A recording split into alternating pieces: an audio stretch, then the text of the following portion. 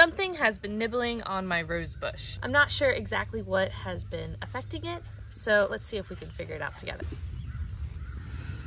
As you can see here, there are holes on several of the leaves.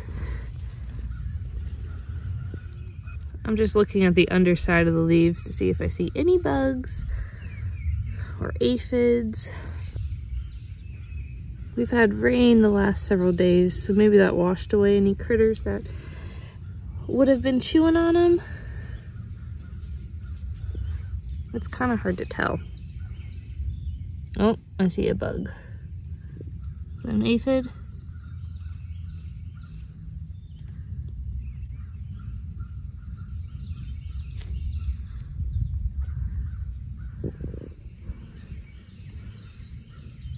I see a little tiny green bug. Yep, that's an aphid. Okay, so at least we know what's affecting them. Let me see if I can find any more and I'll try to squish them all. Sight, oh, here's another one.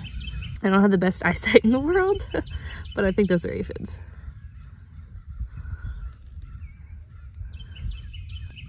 At least I think that's an aphid. Just squish them all. Squish any ones I find. Oh man, this leaf is covered. You see all those? All those little green bugs? I think that's probably what's been chewing on this rose leaf. I'm gonna go through and squish them all with my finger. Oh man, there's a lot on this. They seem to be bothering the new growth the most. Oh, there's a bunch of them on this little patch of leaves too. See, from the top side, you can't see them. But then when you flip them over, look at all those.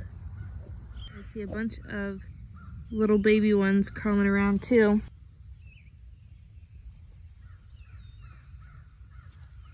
Okay, this plant is completely covered. I need to buy some spray today. You can really see them all crawling around there.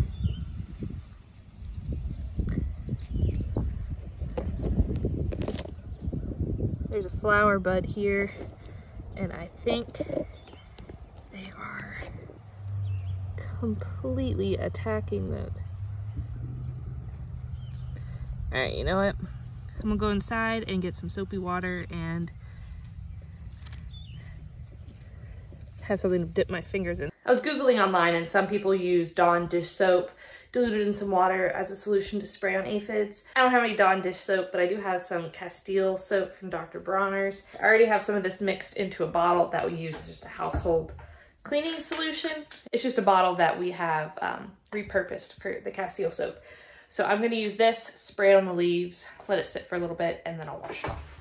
I'm gonna try to spray this on the leaves and hopefully, hopefully that takes care of the aphids. I also brought out a small bowl of soapy water just to dip my fingers in after I squish all the bugs so that if there's any I missed uh, squishing, hopefully that will take care of. But this thing is pretty well covered. There's quite a lot and I see a lot crawling around the surface in the mulch down below as well. So I'm gonna spray around the mulch as well. So I'm just gonna spray this solution all over and hopefully that takes care of them. I'm also gonna get in here and spray the underside of the leaves because that's where I've been seeing them the most on any buds that are here as well.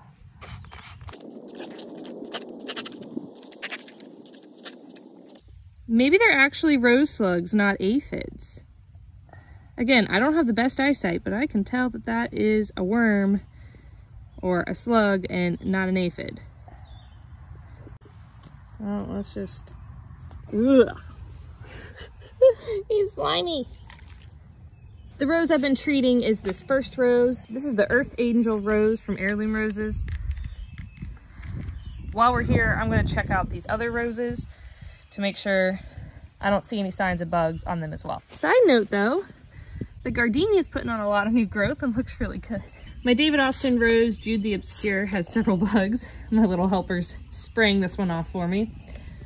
I haven't seen any signs of anything on the other bushes, but I think I'll still go to the store and buy some stronger spray and go ahead and treat. So this rose bush we transferred from my mom's house. It was one that she didn't want anymore. And some of these stems are getting kind of soggy and dying from the transplant shock, I guess. So I'm gonna come in here and just cut off any of these brown limbs and um, the dead leaves here. Clean it up a little bit. Here's the after. We have a pile of clippings there. I think that looks a lot better. Again, this is my first time growing roses, so I'm not an expert by any means, but I think that looks a lot healthier. last Right here. Oh, careful, honey. Watch the thorns. I'm not an expert by any means, but I think that looks a lot better. Well, it looks like we may have aphids and rose slugs attacking this poor rose bush. So hopefully we can take care of them and it won't suffer any more damage. Um, I think I got most of them all squished off that I could find and I sprayed it real good. I'm gonna come in with some water and hose it down in about an hour.